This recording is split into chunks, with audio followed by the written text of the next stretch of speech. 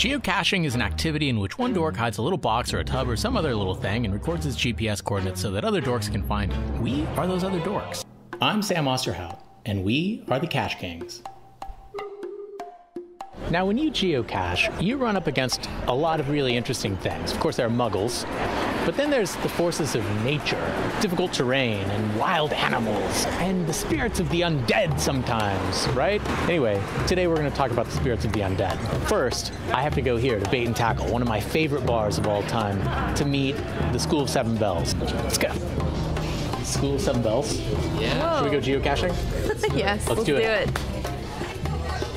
The geocache we're doing today is called Great Towers. So this one, it's going to be in IKEA. Now, I, it's not in. Are you kidding me? It's not in IKEA, but it's in the it's in like the parking lot. The hint is as the guard faces the right, back and center one, two, three up. Is this that gray guard? That's the it's like a crane. It's like a ship crane. I think that must be the guard. So maybe back here. The crane's going that way, so we're facing this way. It's gotta be back here. Back and center one, two, three up. Hey, I think I found it. There it is. Where was it?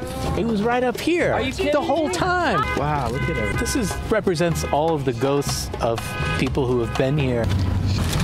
Thanks for sticking this one out. Yeah, that was that was tough. It was a challenge. One, two, three. So we're heading today to the living room, which is one of the most popular music venues in Manhattan. My girlfriend calls me the Admiral. I can feel this like smell of fear hormones in the air from the crew. I think I'm getting really like nervous now.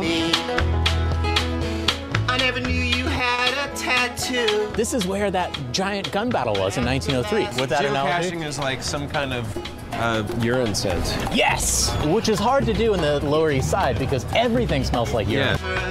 Out. Okay, so we're getting close to the geocache.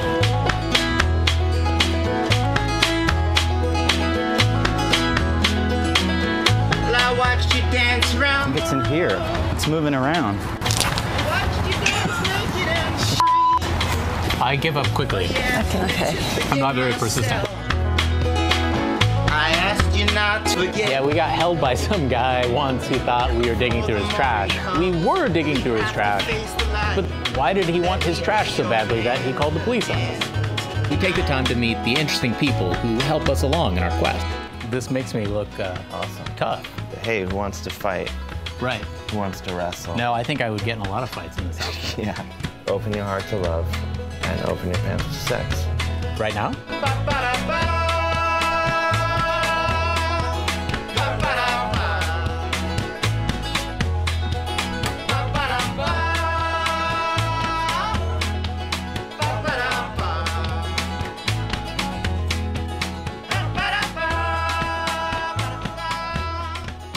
So what's in these things? Well, usually it's it's junk, really. I mean, there's a guitar pick, there's an eraser, there's a, a Hot Wheels car. You know, it's not about what's in the cache. It's about finding the cache. It's about the journey, really.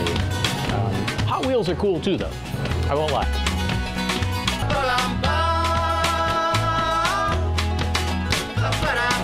Oh, someone hasn't been here in uh, quite a few days.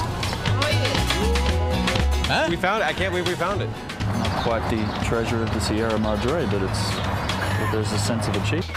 Some may ask, what is the point of like, running around the city looking for pieces of Tupperware? Why would you want to do that? Well, we say, why wouldn't you want to do that?